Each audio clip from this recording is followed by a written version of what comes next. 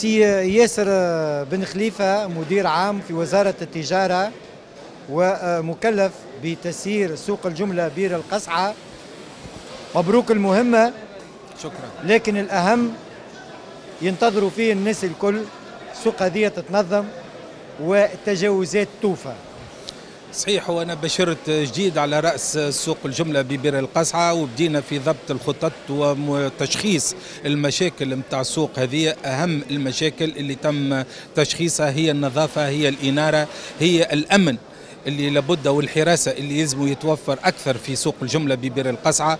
وانطلقنا إن شاء الله في الإنجاز من نهار اثنين باش ننطلقوا في الدهينه وطلاء الأجنحة نتاع أسواق نتاع الأسماك نتاع الخضر والغلال وكذلك تحسين عدة أوضاع إن شاء الله في القريب العاجل. يا اللي مزين من برا شنو احوالك من داخل. حكيت لي على الدهينه والتنظيف وكذا لكن ما يحدث من تجاوزات. يندى له الجبين على امتداد سنوات من 2010 ل 2022 كارثة بيعان تحت الطاولة عصابات مرقين عن القانون يحكموا في بير القصعة باستثناء الشرفاء باستثناء النزهاء باستثناء الوطنيين. اللي صاير هنا وأنت تعرف وأنا أعرف والدايرين بينا الكل يعرفوا اللي هما قرش كبير نهش الحم الزوالي يا سياسي صحيح هو كيفنا جميع القطاعات الأخرى مش حكرا على بير القصعة جميع الأسواق وكذلك جميع مسالك التوزيع كذلك بير القصعة مش يكون معناتها في حياد على بقية الأسواق الأخرى. فما صحيح فما عدة مشاكل. أهمها كيف قلت هي الاحتكار المضاربة مسالك التوزيع البيع تحت الطاولة. هذه اللي قاعدين نعملوا مع بعضنا وقاعدين نتصداوا له فرق المراقبة الاقتصادية بالمعادلة الأمنية. أحد زملائك في تونس باش ما ننزوش الورد تصدى لمحتكر. وقام بالإجراءات القانونية ونقولها لأول مرة فما محتكر حكم ب خمس سنوات سجن مئة ألف دينار اختية والممتلكات متاعه وقع مصادرتها وأحد القضاة الشرفاء بعد ما تأكد وثبت أصدر هذا الحكم. في بير القصعة يعملوا في ال triple متاع يعمل في السيد هذا. وقتاش باش نسمعوا بأحكام وقتاش باش نسمعوا بإجراءات غلق وقتاش باش نسمعوا بمصادرة نتاع أملاك كل محتكر وكل مضارب كل من يعمل تحت الطاولة والأغلبية تلعب تحت الطاولة. هو سيتم تفعيل القانون اللي نأكد عليه أنا من خلال مباشرة العمل على رأس سوق الجملة ببير القصعة. سيتم تفعيل القانون وكذلك تطبيق مقتضيات المرسوم عدد 14 اللي ذكرتم بكري. سيتم معناتها إحالة عدة قضايا للقضاء وكذلك معاقبة كل من تخول نفسه آه الاحتكار والمضاربة واللعب بقوت المواطن. سياسي جاوبتني دبلوماسي. ونعرف السؤال يوجع. الفصل اللي تحكي عليه واللي رئيس الجمهورية حملكم أنتم المسؤولية في تطبيقه اليوم فما تجاوزات. اليوم فما خرق. اليوم فما خنقان للزوالي. اليوم وأنا نوري في الصور وانت يريد. الزوالي لقت في الزبلة باش ياكل. حتى نتصدى لمن أرغم التونسي على الأكل. من المزابل شنو الاجراءات اللي لازمها تصير وشنية الكاريزما والقلب اللي يلزمكم أنتم يكون عندكم باش تطبقوا القانون. الإجراء العاجل والأكيد هو تطبيق القانون كيف قلت لابد من تفعيل مقتضيات المرسوم عدد 14 وهذا اللي نسعى قدرة ربي خلال الفترة القادمة إلى تطبيقه والضرب على الأيادي بقوة إن شاء الله. ليه؟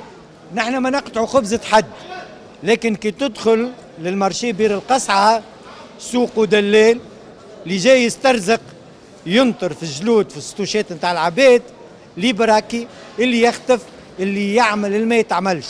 السوق هذا مفتوح للتجار الجملة وللخضارة الحرفاء اللي يشريوا لكن البقية ما عندهمش الحق لكن اليوم خرقوا الحق هذايا ومتواجدين ويعملوا اللي يحبوا. متى يتم تنظيف بير القصعة من الشواذ والخارجين عن القانون.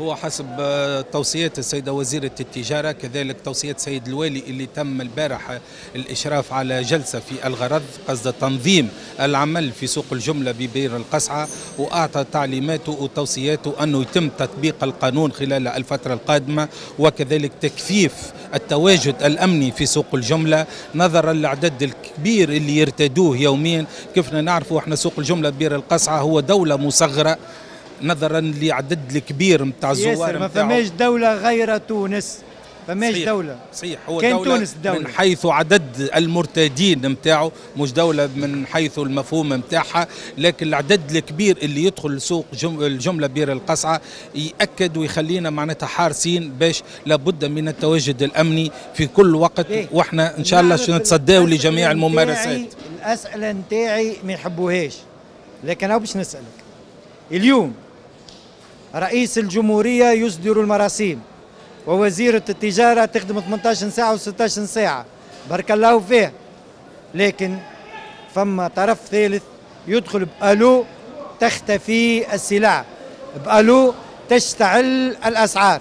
وانت تعرف وأنا نعرف والمحيطين بيا يعرفوا اللي فما كروات هنا تعتاد بالمحاباة وبالانتماءات الحزبية. والناس الكل تعرف اللي هما يلعبوا تحت الطاولة وفوق الطاولة وما زالوا يخربوا في المرشي هذا. هذوما باش يعملوا لهم؟ سيتم تفعيل القانون وهما توا قاعدين نشوفوا فيها نتاع توزيع الكروات هذه اللي تمت بالمحاباة وكذلك بالمحاسة وسيتم انتزاعها منهم بقوة القانون. بقوة القانون ونختم معاكم الريبورتاجات من أفضل الوزارات اللي قاعدة تشتغل في تونس هي وزارة التجارة وأقول ذلك على مسؤوليتي.